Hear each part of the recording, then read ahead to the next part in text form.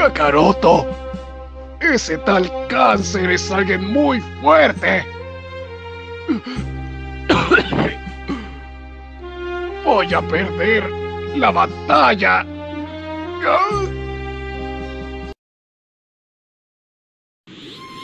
Kakaroto, logré derrotar a ese temible adversario llamado cáncer. Pero, ¿a qué costo?